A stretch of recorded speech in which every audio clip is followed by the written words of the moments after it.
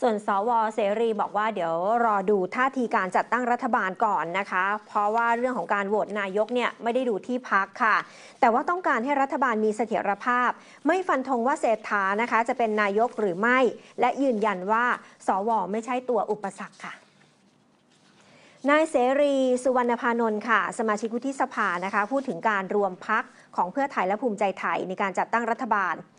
โดยบอกว่าวุฒิสภาเนี่ยต้องรอให้แต่ละพักการเมืองไปจัดตั้งรัฐบาลรวมตัวกันให้เสร็จ เพราะว่าต้องการให้รัฐบาลมีเสถียรภาพได้เสียงเกิน 250 คนขึ้นไป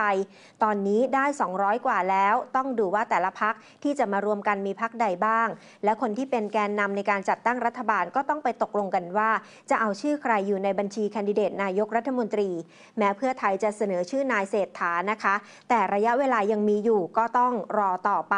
ว่าสุดท้ายเนี่ยจะเสนอในสภาเป็นชื่อใคร เมื่อถามว่าขณะนี้เพื่อไทยและภูมิใจไทยรวมเสียงได้เกิน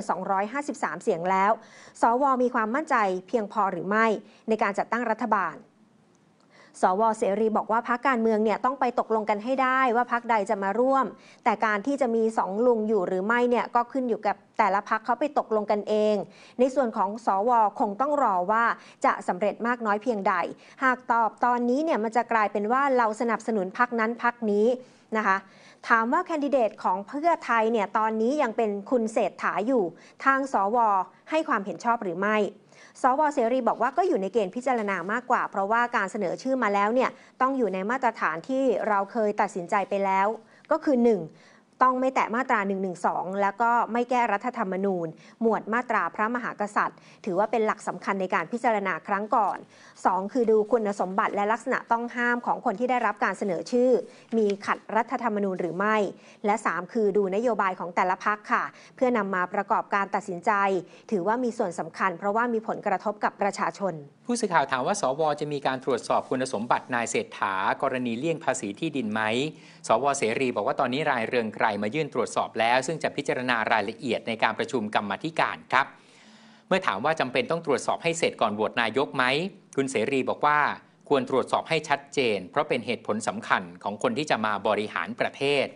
เมื่อถามว่า สวกิติศักดิ์เนี่ยระบุว่านายกคนต่อไป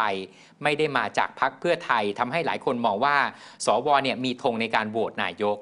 สวเสรีบอกว่าไม่ ตนคิดว่าเป็นเหตุผลของนายกิติศักดิ์เอง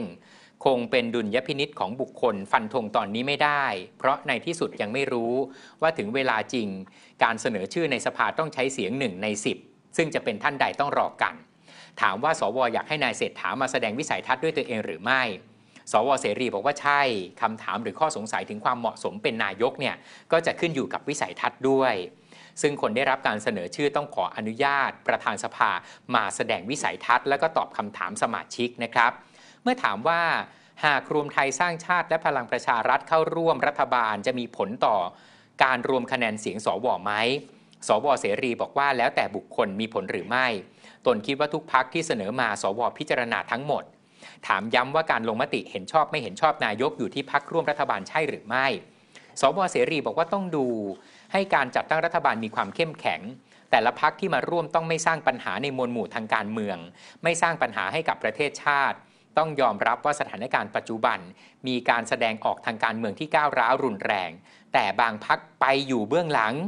ยุยงให้เกิดเรื่องเหล่านี้ บ้านเมืองก็ไม่สงบอย่างที่เห็น เพราะฉะนั้นจะต้องถามหาความรับผิดชอบร่วมกันนะครับ รื่องนี้ล่าสุดนะท่านผู้ชมฮะท่านสวเสรีในฐานะที่ท่านเป็นประธานกรรมธิการการเมืองของวุฒิสภาเอง ออกมาเปิดเผยล่าสุดแล้วนะครับ เรื่องที่คุณเรืองไกรร้องต่อกรรมธิการให้ตรวจสอบคุณสมบัติของคุณเศรษฐา ล่าสุดท่านสวเสรีสุวรรณพานนท์ในฐานะประธานกรรมธิการบอกว่า กรรมธิการการเมืองมีมติรับเรื่องสอบ คุณเศรษฐาทวีสิน